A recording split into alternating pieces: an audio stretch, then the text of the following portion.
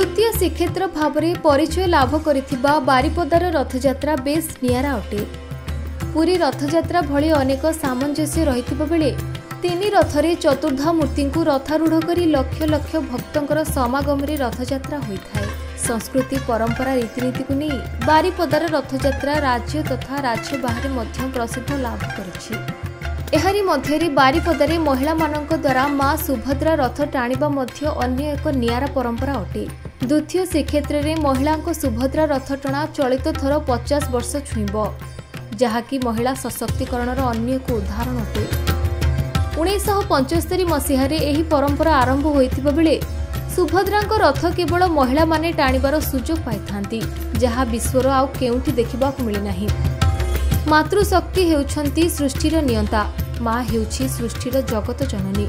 ସେଥିପାଇଁ ବାରିପଦାର ସମଗ୍ର ନାରୀ ଶକ୍ତିକୁ ସମ୍ମାନ ଦେବା ପାଇଁ ଆବାହନ କାଳରୁ ଆଜି ପର୍ଯ୍ୟନ୍ତ ଏହି ପରମ୍ପରା ଉଜ୍ଜୀବିତ ରହିଛି। ବହୁ ପୁରାତନ ପରମ୍ପରା ସହିତ ପନ୍ଦରଶହ ପଞ୍ଚସ୍ତରୀ ମସିହାରୁ ବାରିପଦାରେ ରଥଯାତ୍ରା ହେଉଛି। ମୋଗଲମାନଙ୍କର ପୁରୀ ଆକ୍ରମଣ ଲାଗି ଶ୍ରୀକ୍ଷେତ୍ରରୁ ଯେତେବେଳେ ଚତୁର୍ଦ୍ଧା ମୂର୍ତ୍ତିଙ୍କୁ ଗୁପ୍ତ ଭାବରେ ରଖାଯିବା ସହିତ ରଥଯାତ୍ରାକୁ ବନ୍ଦ ରଖାଯାଇଥିଲା। ସେତେବେଳେ ମୟୂରଭଞ୍ଜର ମହାରାଜା ବୈଦ୍ୟନାଥ ଭଞ୍ଜଦେଓ ମୋଗଲଙ୍କୁ ଭୟ ନ କରି ବାରିପଦାରେ ମନ୍ଦିର ପ୍ରତିଷ୍ଠା କରି ରଥଯାତ୍ରା କରିଥିଲେ। ପନ୍ଦରଶହ ପଞ୍ଚସ୍ତରୀ ମସିହାରୁ ଏହି ରଥଯାତ୍ରା ନିରବଚ୍ଛିନ୍ନ ଭାବରେ ପାଳିତ ହୋଇଆସୁଛି କେବଳ କରୋନା ମହାମାରୀ କାରଣରୁ ଗତ ଦୁଇ ହଜାର କୋଡ଼ିଏ ମସିହାରେ ସମସ୍ତ ରୀତିନୀତି ହେବା ସତ୍ତ୍ୱେ ରଥ ଟଣା ହୋଇପାରିନଥିଲା ଉଣେଇଶହ ପଞ୍ଚସ୍ତରୀ ମସିହାରେ ଅନ୍ତର୍ଜାତୀୟ ମହିଳା ଦିବସ ପ୍ରାରମ୍ଭ ଅବସରରେ ତତ୍କାଳୀନ ମୁଖ୍ୟମନ୍ତ୍ରୀ ନନ୍ଦିନୀ ଶତପଥୀଙ୍କ ଦ୍ୱାରା ଏହି ପରମ୍ପରା ଆରମ୍ଭ ହୋଇଥିଲା।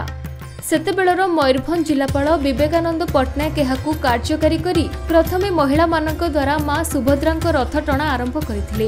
ପୂର୍ବରୁ ବାରିପଦାରେ ରଥଯାତ୍ରା ଦେଖିବାକୁ ଦୂର ଦୂରାନ୍ତରରୁ ଲୋକମାନଙ୍କର ସମାଗମ ହେଉଥିଲା। ଏତେ ଭିଡ଼ କାରଣରୁ ମହିଳାମାନେ ରଥ ଟାଣି ପାରୁନଥିଲେ। ରଥ ଦୌଡ଼ି ଧରିବାକୁ ଯାଇ ମହିଳାମାନେ ଆହତ ମଧ୍ୟ ହେଉଥିଲେ। ଏହାର ସମାଧାନ କରିବା ପାଇଁ ତତ୍କାଳୀନ ଜିଲ୍ଲାପାଳ ଶ୍ରୀ ପଟ୍ଟନାୟକଙ୍କ ଉପସ୍ଥିତିରେ ଯୁଗାନ୍ତକାରୀ ପଦକ୍ଷେପ ଗ୍ରହଣ କରାଯାଇଥିଲା। ଉଣେଇଶହ ପଞ୍ଚସ୍ତରୀ ମସିହାରେ ରଥଯାତ୍ରାରେ ପ୍ରଥମ କରି ମା ସୁଭଦ୍ରାଙ୍କ ରଥକୁ ପାଞ୍ଚ ଜଣ ମହିଳା ପୋଲିସ ସୁରକ୍ଷା ବଳୟରେ ଇନର କର୍ଡନ ମଧ୍ୟରେ ରଥ ଟଣା ହୋଇଥିଲା। ଏହା ପରେ ପରେ ଧୀରେ ଧୀରେ ମହିଳାମାନେ ଆଉଟଡୋର କର୍ଡନକୁ ଆସି ଟାଣିଥିଲେ ରଥ। ଆଉ ସେବେଠାରୁ ଆଜି ପର୍ଯ୍ୟନ୍ତ ମା ସୁଭଦ୍ରାଙ୍କ ରଥକୁ କେବଳ ମହିଳା ଶ୍ରଦ୍ଧାଳୁ ହିଁ ଟାଣୁଛନ୍ତି ଯାହାକି ମହିଳା ସଶକ୍ତିକରଣର ଅନ୍ୟ ଏକ ପରିଚୟ ପ୍ରଦାନ କରୁଛି। ଏହି ଅବସରରେ ଚଳିତ ବର୍ଷ ଉପମୁଖ୍ୟମନ୍ତ୍ରୀ ପ୍ରଭାତୀ ପରିଡ଼ା ଜୁଲାଇ ଆଠ ତାରିଖରେ ବାରିପଦାରେ ଉପସ୍ଥିତ ରହି ମହିଳାମାନଙ୍କ ସହିତ ମା ସୁଭଦ୍ରାଙ୍କ ରଥ ଟାଣିବେ। ମୟୂରଭଞ୍ଜରୁ ପ୍ରଦୀପ୍ତ ହୋତାଙ୍କ ରିପୋର୍ଟ ଖବର ଓଡ଼ିଶା।